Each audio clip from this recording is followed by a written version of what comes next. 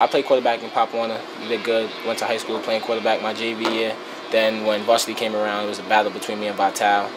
Um, Vital won it out. Not as athletic as, as uh, Andrew, but has a head for the game. Yo, get down, get down, watch the fake. Yo, watch the fake. Let's go, man. He knows every play that should be called.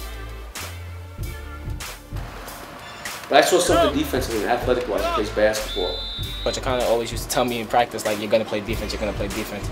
I should have listened to him earlier. I felt that he could be an outside linebacker in college.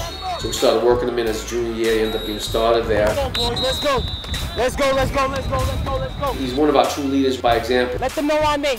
Y'all know what we do. It got me where I am today. He's just like me. He uses his techniques that he learned in basketball to help him on the football field, which I respect a lot. Dujuan went from baby Dujuan talking trash on JV to becoming an all-state player.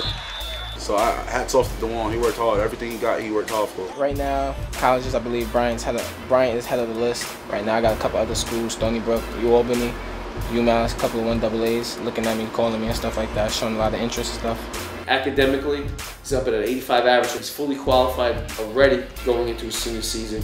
Being recruited by a lot of Division One AA schools. Where I'm coming from, like not many people seeing stuff like this. Like it's a great feeling. You got dudes sending you stuff like, hey, for you being good in school and good on the field, like we want to reward you with an education.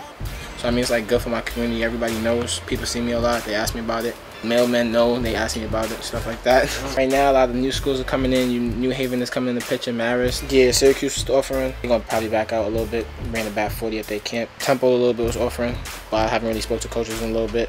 Um, Bryant's still up, probably at the top. Dujuan Heath has all the things that you can't measure.